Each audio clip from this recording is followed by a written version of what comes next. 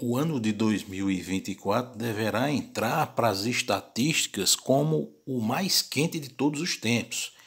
2023 já entrou nas estatísticas.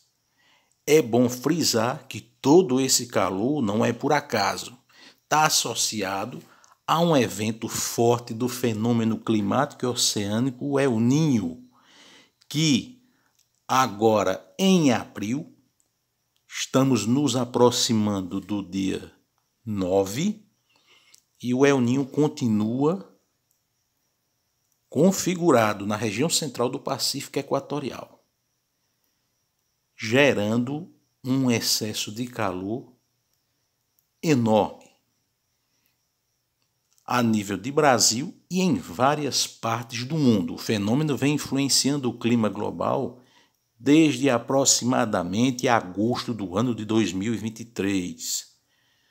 Juntamente com isso, podemos observar também um outro fenômeno oceânico bastante interessante. O Atlântico Sul, na altura da costa leste do Nordeste, esquentou demais dentro do primeiro quadrimestre do ano de 2024.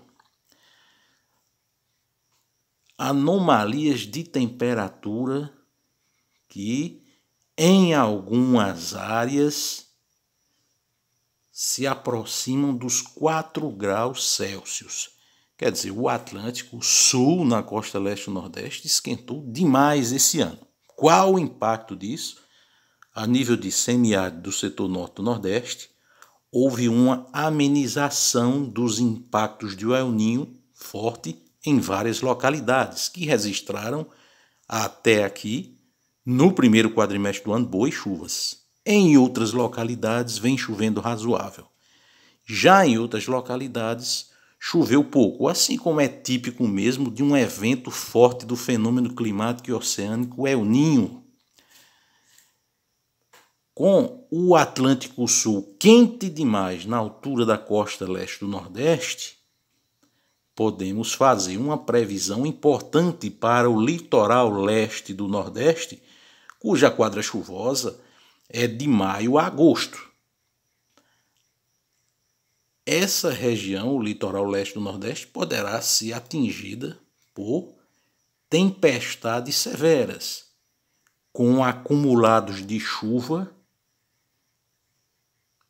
elevadíssimos que poderão causar transtornos para a população entre os meses de maio e agosto. Lembrando que o El Ninho está próximo de entrar em fase de dissipação.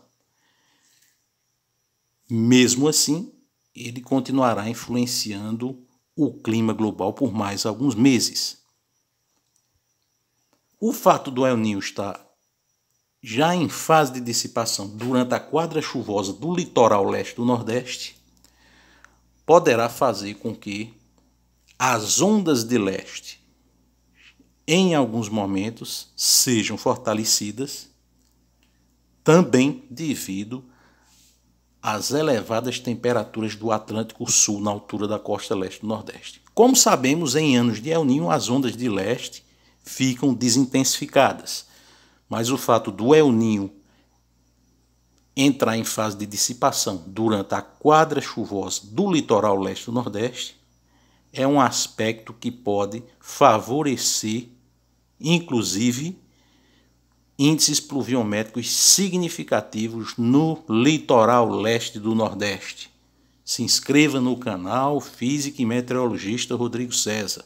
Dê um like, compartilhe, comente. Ajude no crescimento do nosso canal.